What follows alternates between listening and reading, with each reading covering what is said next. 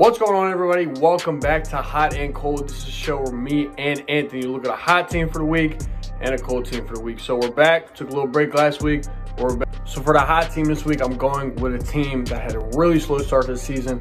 I was really surprised at their slow start early in the year. They're now in the seventh seed. It's the Denver Nuggets. The Nuggets are six and four in their last 10 games, and they have won three games in a row. Right now, they're being led by Nikola Jokic, who's averaging 27 points, 11 boards, and 8 assists a game. This man's on another level right now. He's on an MVP tear. He's got to be in the top three right now as far as MVP voting goes. And another key piece on his team is Jamal Murray. We just saw Jamal Murray maybe like a week, two weeks ago, 50 points. I want to I think he shot 80% from the floor. Like Jamal Murray's getting back to that bubble form. The Nuggets are looking real good right now. That's my hot team for the week. What's going on, guys? It's Anthony back here again with this week's Hot and Cold. I finally got a jersey for the hot team this week. Going with my guy Melo and the Knicks. I know he's not there anymore, but the Knicks, they're seven and two, I think, in this past nine game stretch. It's, it's almost kind of tough. Let me throw it in because I kind of thought that this could have been the Milwaukee Bucks, but I think the Knicks have been on fire lately. They're seven and two. They're fourth in the East right now. It's crazy. Who would have thought the Knicks would be fourth in the East? But now Julius Randle's been playing out of his mind lately, putting up all-star numbers, putting up like crazy numbers. Derrick Rose has been filling in for the injured Elfrid Payton. They've been playing good. They got this new rotation lineup going, and it's been working out pretty good for them. I like the Knicks.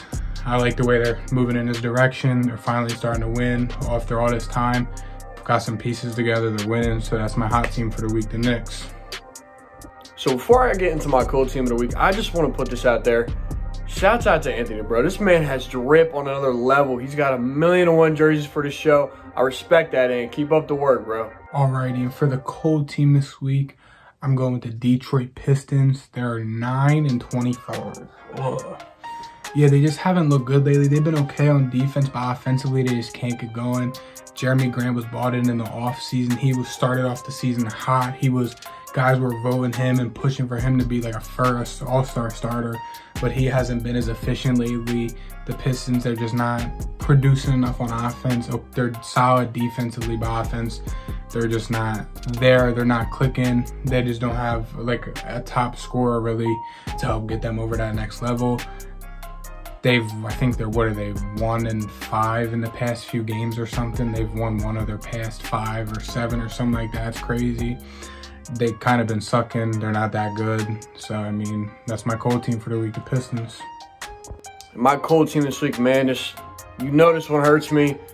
You know I'm going to take here. I'm going to take the Los Angeles Lakers. Over the past 10 games have been 3 and 7. The Lakers have really struggled without Anthony Davis and are having severe problems in the offensive and defensive ends of the floor. Without this man, he's 100% their second best player. They need this man on the floor at all times. We did just see them blow out the Golden State Warriors the other night, which was an impressive win. But then yet again, they lost last night to the Sacramento Kings. So it's tough times right now in LA. With that being said, I am not too worried about this Los Angeles Lakers team down into the playoffs as far as an NBA Finals run and stuff like that goes. Because I think Anthony Davis is going to come back to full peak. He's going to be way better than what we've seen so far from him this season. Um, and once they get him back, Lakers are going to be all right. But that's my cold team for the week. So with that being said, that's going to do it for this week's edition of Hot and Cold. Do me a favor, guys. Go check out Anthony's podcast, Instagram page, Twitter, all that stuff at the greatest podcast on turf.